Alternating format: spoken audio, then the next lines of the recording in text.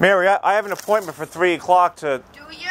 I do. Okay, let me see, okay? Okay. Let me confirm it. I talked to the, the meeting last night. I told them I wanted a tour here at 3 o'clock. Okay, let me just see if it's on the page. Okay. okay? Don't put it on me. Go ahead. She said that council doesn't run the shelter, she does, and you don't have an appointment. All right. That'll be... what was told to Now, but by law, you guys are supposed to be open. You know that, right? We're, we're open, we've seen people already, But you're not open for the, to the public. by appointment.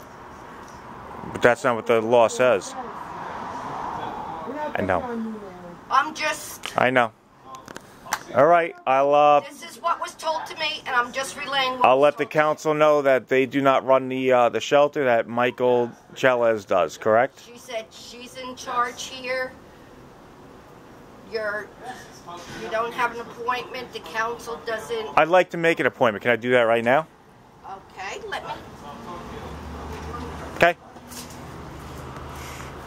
I was told, Steve, that the shelter doesn't do tours. Okay. I like it. I like to make an appointment to come in and look around. She said no.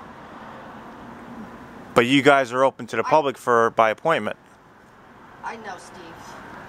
I know you're just uh, the the I'm messenger. messenger. But how come she can't come down and explain that to us?